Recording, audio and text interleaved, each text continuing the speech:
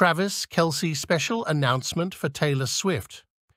During podcast at 14th of February 2024, the new edition of Travis and Jason Kelce, the New Heights podcast is out, and during the show, Kansas City Chiefs star makes a special announcement that he will travel with Taylor Swift during her next Eras tour.